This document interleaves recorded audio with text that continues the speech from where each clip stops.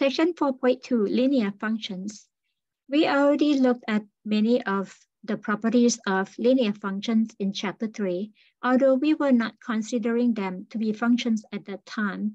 If we can solve a linear equation in two variables for a variable y, then we can think of our equation as a linear function. These types of functions have many uses in mathematics and beyond, including linear regression. In this section, we will cover we will cover topics in linear functions and their graphs and linear regression. A linear function f or a first degree polynomial function of one variable, say the variable x, is any function that can be written in the form of f of x equals mx plus b, where m and b are real numbers. And the graph of the linear function is a straight line with the slope m and the y-intercept 0b. Let's look at the example. Problem one, find the linear function with the following properties. In part A, the function at zero equals nine. The slope of the function f is negative eight. The f at zero equals nine gives us the order pair zero, nine, which is in the form of zero comma b. Therefore, the b is nine. The slope means m. m of this function is negative eight the linear function will be in the form of f of x equals mx plus b. So we obtain the function in the form of negative 8x plus 9. When we plot the graph of this linear function, we need the slope m and the point on the graph the point is already provided by the problem, which is 0, 9 or the y-intercept. So we locate 0, 9 and then from the slope negative 8 with the concept of rise over run. Negative 8 means negative 8 over 1.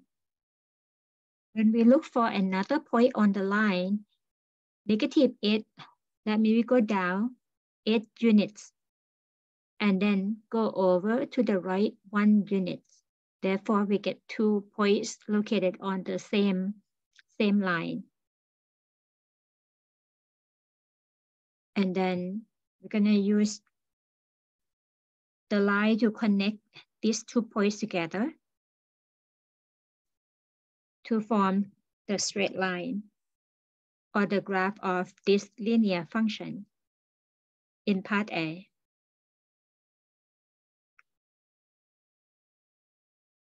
Part B, function at negative 6 equals negative 4.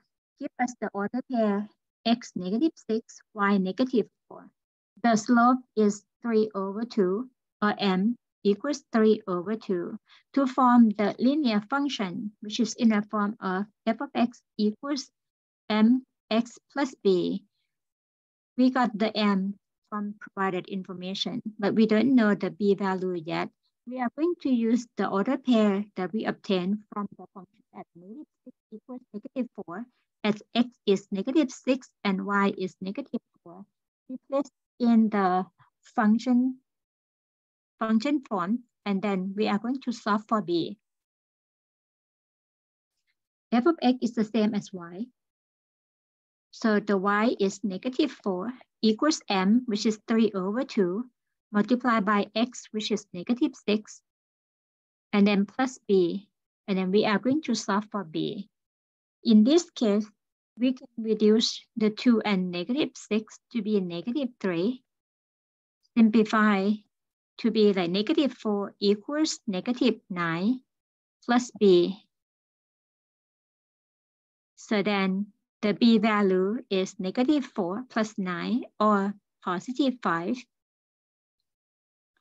then we put them together into the form of the function or the linear function f of x equals m, which is 3 over 2, multiplied by x and then plus b, which is 5.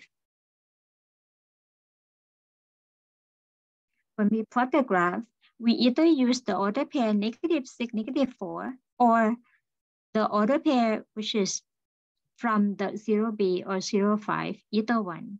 So let's use the, uh, the one negative 6, negative 4.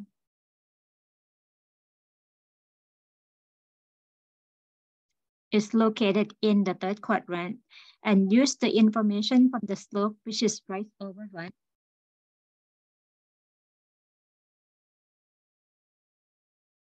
So we move up three units, one, two, three, and go over two units to obtain the second coordinate on the same line. And next we are going to draw the line passing through this point to represent the graph or the straight line for this function.